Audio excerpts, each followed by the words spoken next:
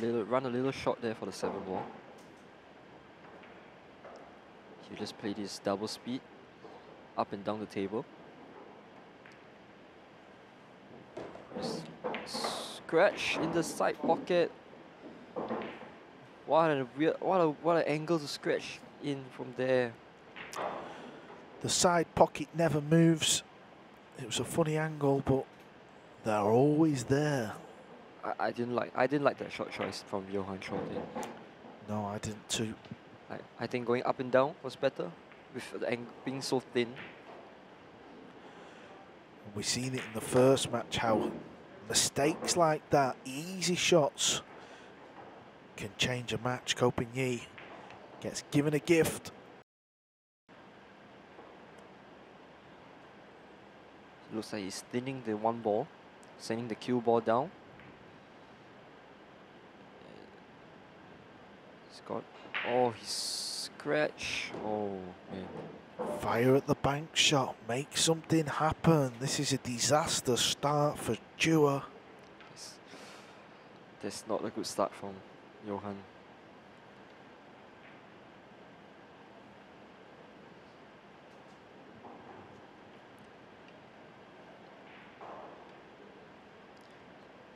So Ko Pin Yi looking to capitalize on Johann's mistake.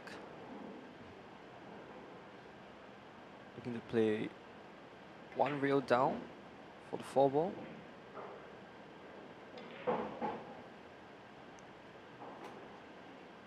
It's got a little bit of a steep angle here.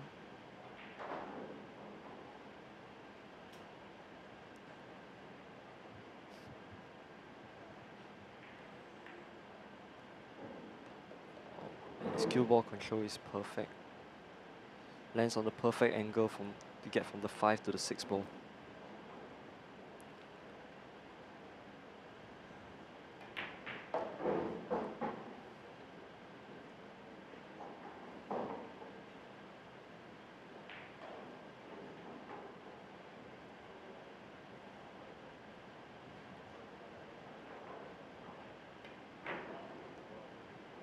Wow.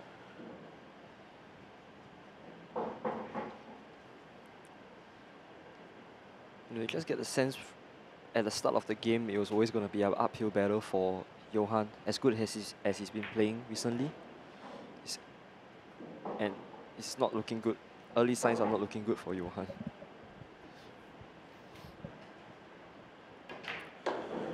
No, they're not, I'm afraid. It's another rack on the board for Ko Pin Yi. 3-0.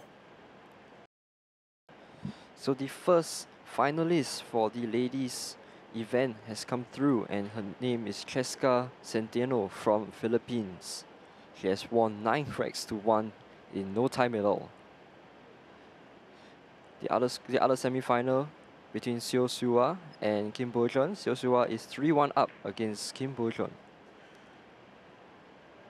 Well, would you look at this for a kick shot? That is amazing.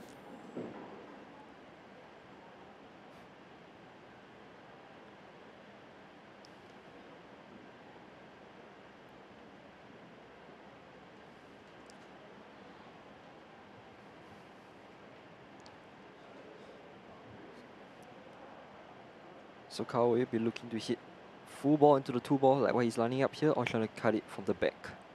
Hit it from the back. Hard to tell from this angle. Depends how much you can get into it. Oh, he's missed it. Wow. That's what I mean. The overhead camera there, I thought he could easy hit the two. Yeah. But maybe.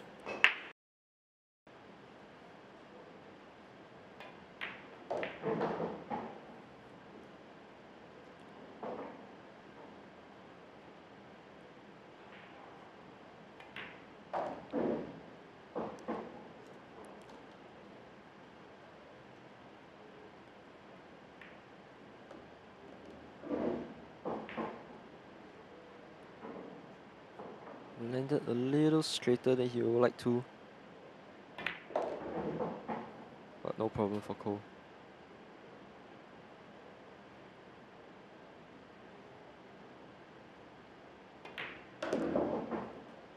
Ko Pin Yi notches up his third break and run of this final. He's only broke three times. He's cleared the table all three.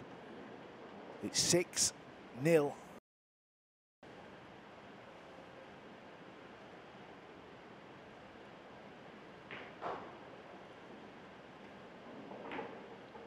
Oh wow, he's losing. Oh, Johann is in a world of trouble right now.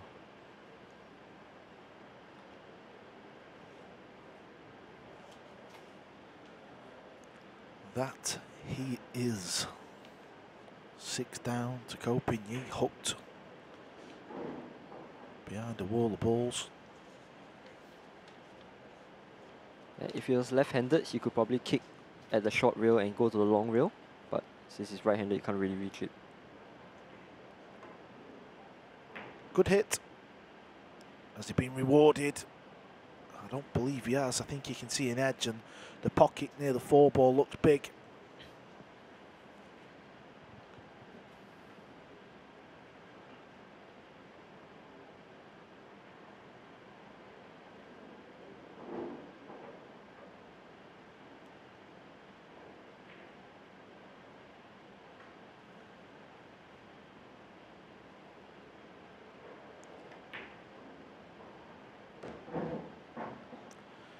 Yeah, there was the big pocket. Didn't need to use the four ball.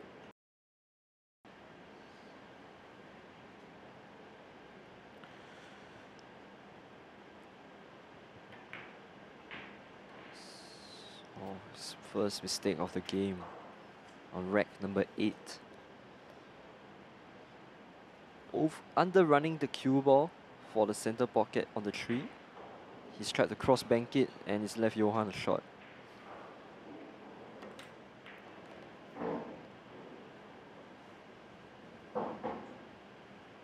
See, like, he might have landed a little straight, but no worries because the sixth ball is very near.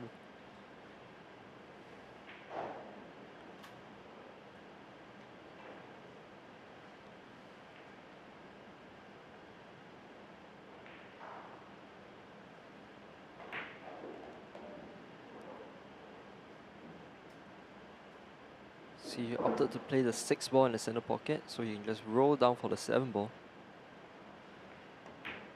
This is a very good opportunity for Johann to get his first rack on the board.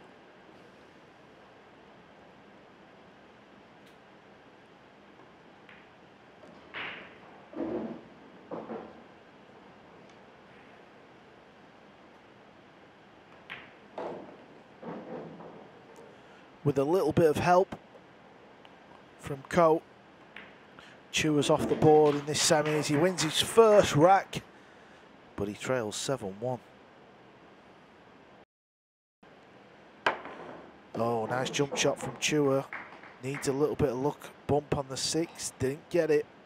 I think he might have a go at the bank shot here, you know. Yeah. In the bottom left, I think there's a bit of value. He could probably find a good safety, but you're 8-2 down. Give something a go. Can he cut it in? The eyes of these young pool players these days.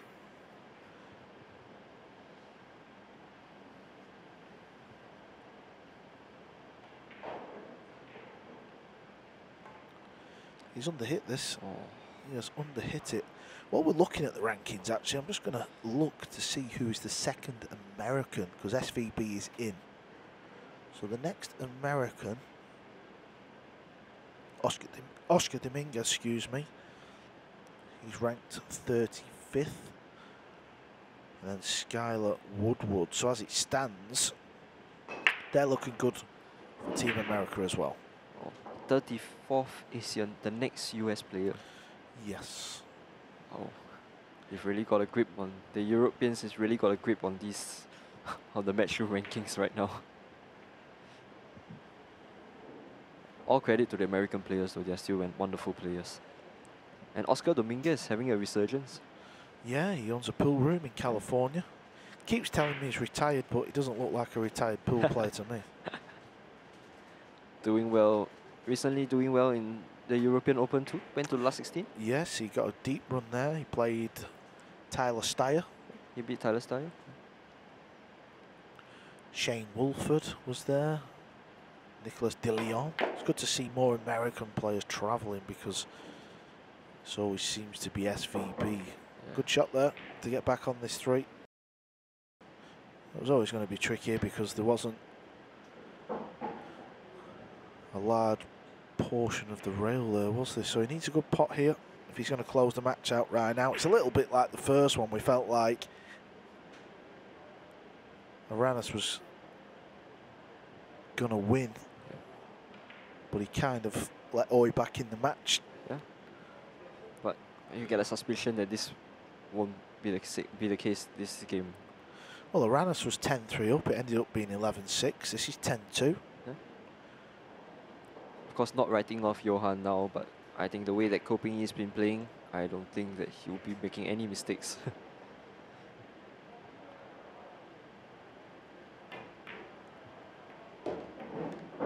Oh, he's putting all three. I like it. Bit of a trick shot. okay. Well, we need to get that one clipped up because that is incredible. How's he managed to put all three there? Have you ever seen anything like that on a pool table? oh my word.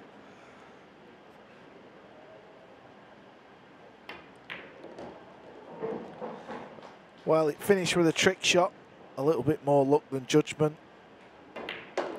But in the end, it was a fair result. Coping a played an absolute blinder. What a performance from Ko Pin Yi.